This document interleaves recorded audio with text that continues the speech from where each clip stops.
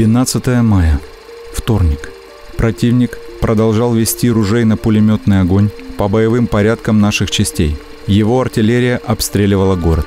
Войска СОР обстреливали вражеские позиции, вели разведку и продолжали совершенствовать оборону. Артиллерия вела огонь по боевым порядкам противника и произвела огневой налет по его батарее в районе Дуванкой. Уничтожено одно орудие, убито более 30 солдат и взорван склад боеприпасов. Снайперы уничтожили 47 немецких и румынских солдат и офицеров. Днем 3 П-2 дважды бомбардировали аэродром Саки, уничтожено 4 и повреждено 6 вражеских самолетов.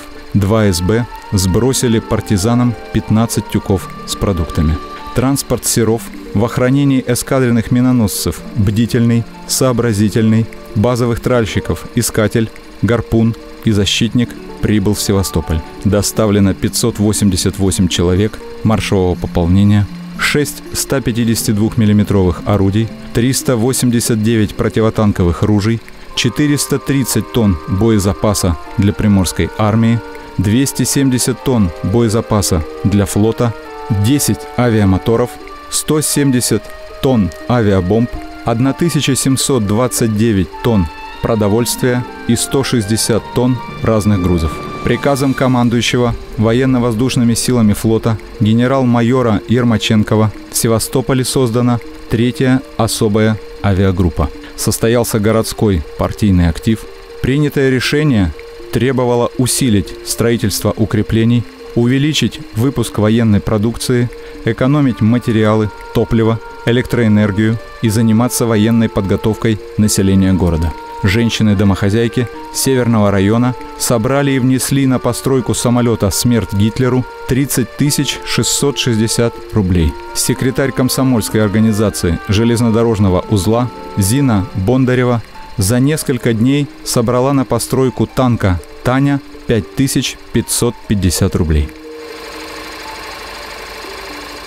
Командир третьей особой авиагруппы, полковник Георгий Георгиевич Дзюба, был опытным летчиком и способным командиром-руководителем.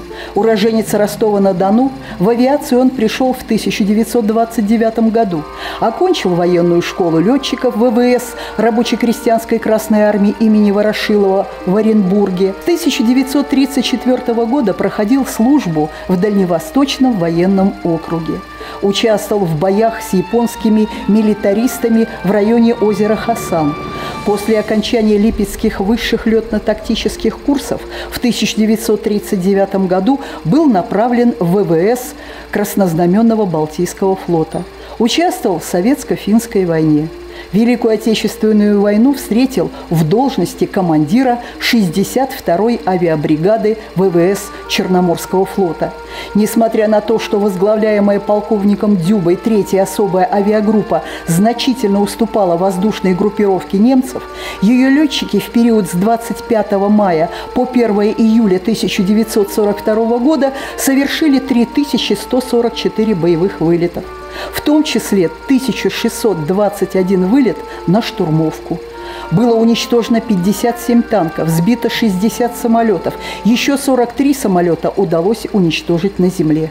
В конце обороны все исправные самолеты авиагруппы были собраны на аэродроме Херсонесский маяк – в последний бой третья особая авиагруппа вступила в ночь на 30 июня 1942 года.